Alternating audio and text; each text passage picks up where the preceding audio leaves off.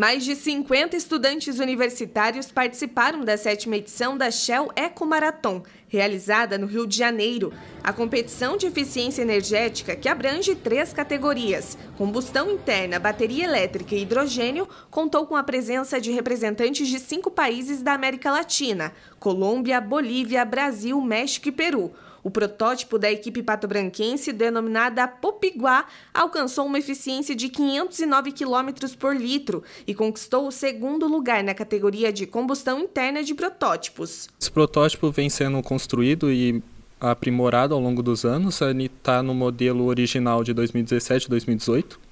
E o grande diferencial desse modelo é que ele tem um formato aerodinâmico é, eficiente, o que possibilita a gente diminuir o arrasto do ar e com isso a gente consegue mais quilometragem com menos combustível. A equipe Pata Jato, que já se destacou como campeã em edições anteriores, é composta por alunos da Universidade Tecnológica Federal do Paraná, campus Pato Branco. A equipe tem trabalhado bem, está se desenvolvendo.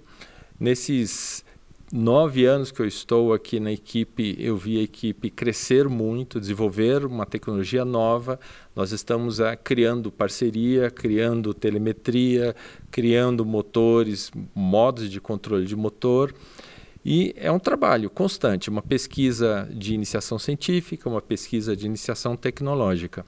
Vitor Hugo está atualmente no quinto período do curso de Engenharia Civil na UTFPR de Pato Branco. Ele já participou de três competições com a equipe Pato a Jato, sendo duas delas no Rio de Janeiro e uma nos Estados Unidos as conexões, as interações que a gente tem com outras universidades do Brasil, tanto fora do Brasil também, é muito importante.